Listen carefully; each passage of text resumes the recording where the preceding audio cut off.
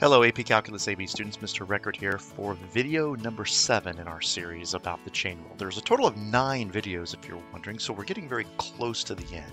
It's certainly one of the longer series of videos that we have for AP Calculus, and it's probably related to the fact that the chain rule is an extremely important part of differential calculus. And it's something that we want to make sure that you understand thoroughly um, before you really move on into later parts of the course.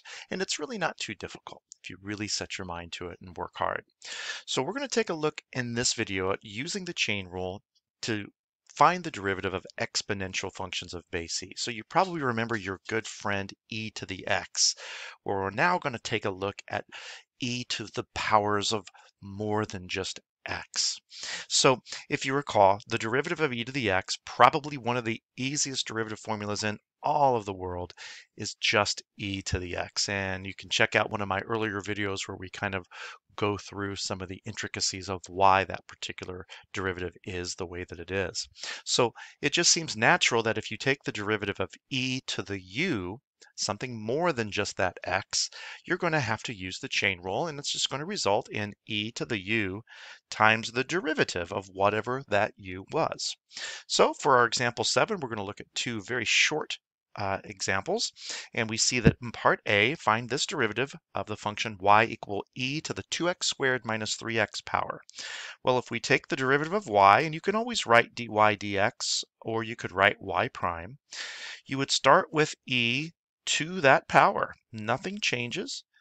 We have that same exponent, and then we would simply multiply by the derivative of that exponent.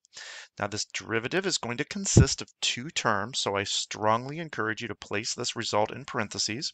Hey, even if it only contained one term, there's nothing wrong with putting this in parentheses. It's going to make it look a little bit more like it's being multiplied. I even put the dot there to emphasize.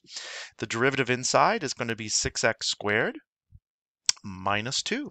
And you're essentially done. You don't have to do anything else with this. Now, if you're wondering how could this possibly appear as a multiple choice, well, there's a chance that perhaps a 2 could be factored out of that 6x squared minus 2, and it might uh, come in first before the e.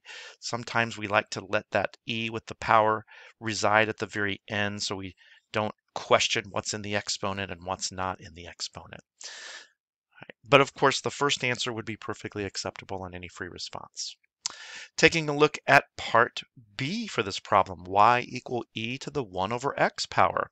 What I might suggest with this first is you rewrite the 1 over x as you traditionally would, and that would be as x to the negative 1 power. We've always done that leading up to this particular video, so we're not going to stop now. Now we have a much better uh, environment in which to take this derivative. So the derivative of e raised to this x to the negative 1 power is just going to stay e raised to the x to the negative 1. Nothing changes. That is the e to the u part right here. But we finish off by multiplying by the derivative of that x to the negative 1, which of course is negative 1 times x to the negative 2 when we use the power rule. That derivative is correct. Not very well simplified, of course, but we can take care of that just simply by working a little bit of algebra magic here. Maybe that e raised to the x to the negative 1 can be rewritten back as e to the 1 over x. It really wouldn't matter. Um, however, this x to the negative 2 is going to plop down to the denominator, and he would become x squared. Now don't forget, we still have not accounted for this negative sign.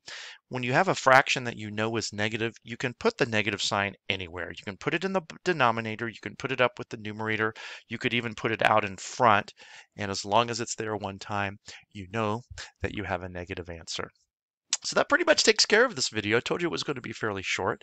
The next video is going to talk about a couple of new derivative formulas that aren't very common in AP calculus, uh, but yet they're most likely a part of a nice college calculus 1 curriculum so i wanted to spend a little bit of time with those as well so stick around for video 8 in this series and we thank you for watching as always